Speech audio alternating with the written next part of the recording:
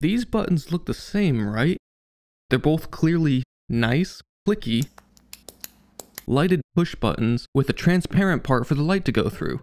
The first one has a positive and a ground that I can hook up to power and switch the light a solid red. I can control the brightness by varying the voltage, but that's it.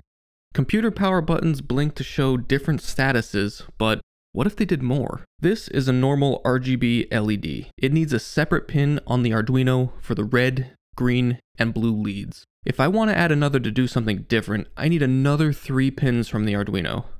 This is a NeoPixel strip.